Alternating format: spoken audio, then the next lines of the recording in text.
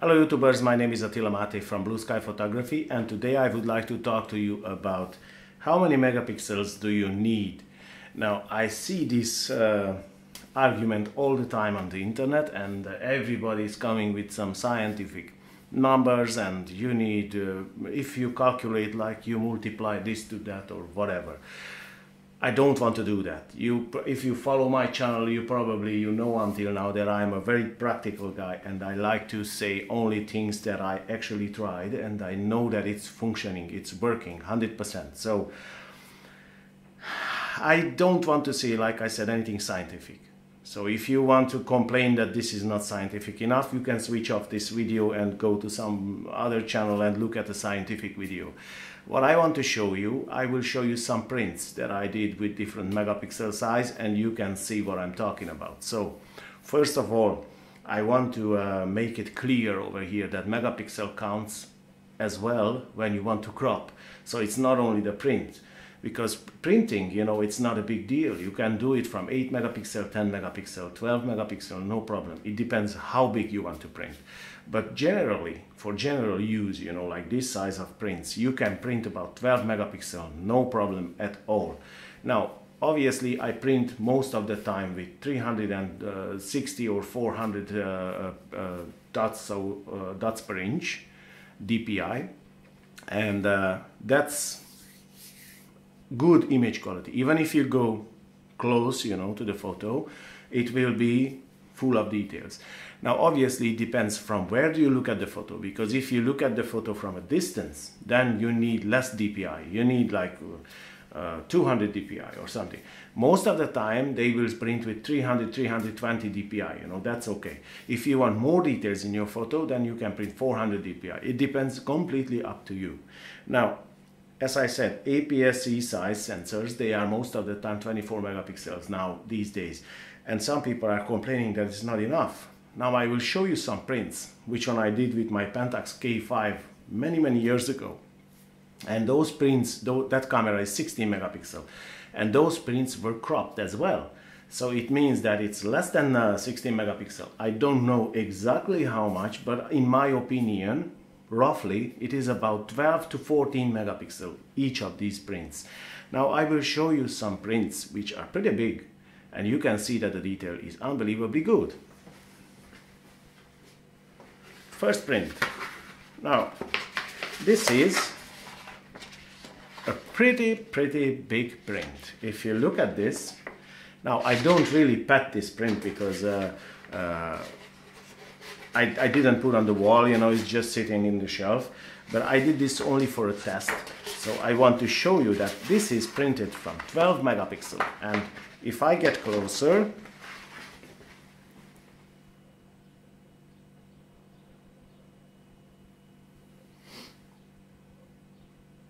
So you can see that this print is really good quality. It's a lot of detail in it. I mean, you can, you can uh, look at this this close and you see the details in the wall. You see the details on the fence up there. You see the details in the boats.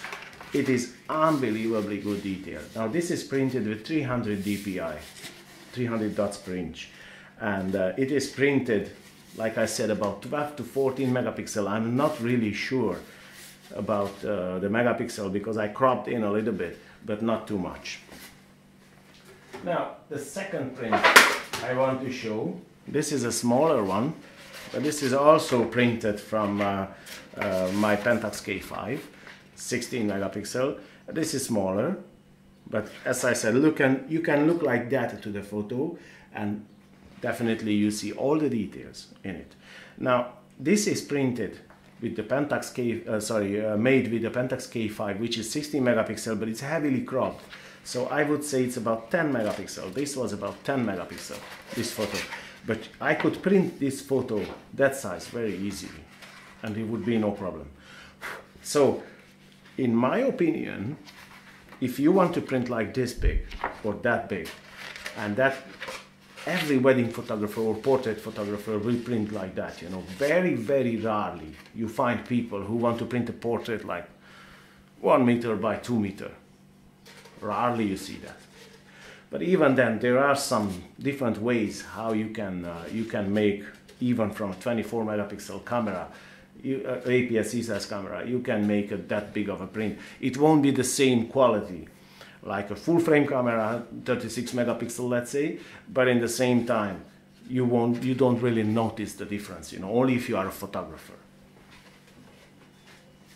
The fourth print, and this is a fine art print, and uh, this is again made with my Pentax.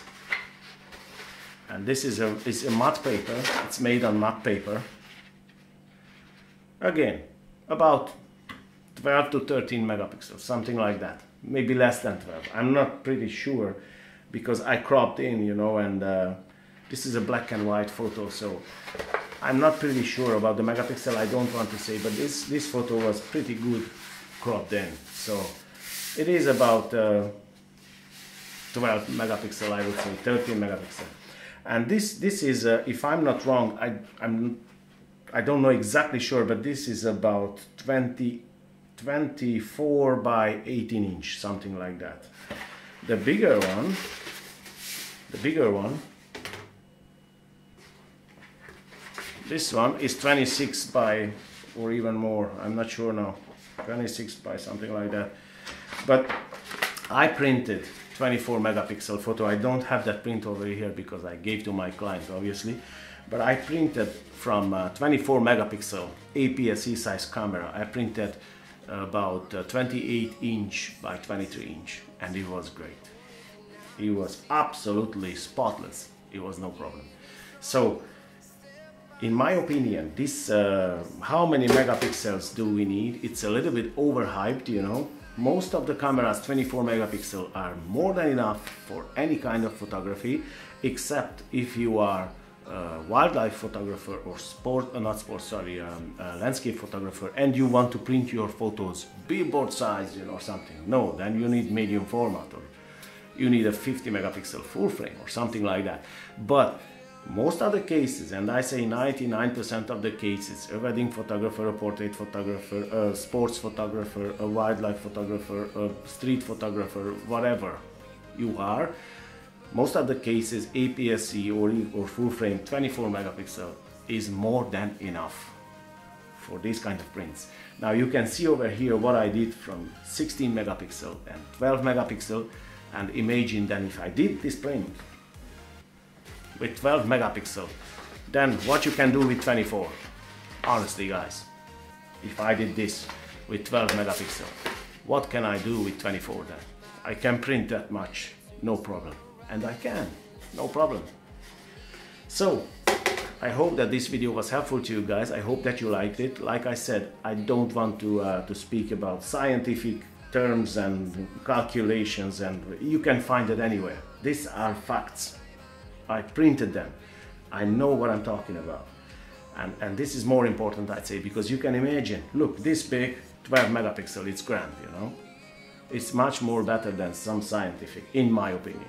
But anyway, if you want scientific things, you know, you can search and you will find definitely. So if you want to add something to my video, feel free and leave a comment down below. I'm only a human being, I can make mistakes as well, you know, I'm not a perfect person. If you want to ask something or if you have a question, feel free and leave a comment down below. And uh, if you like my videos, please like and subscribe and share my videos. And if you want to support this channel, share my videos, tell to the others about my channel. And uh, you can hit that little bell button near the subscribe button to get notified when I upload another video. And other than that, I wish you a great day and I'll see you in the next one. Take care guys. Yeah.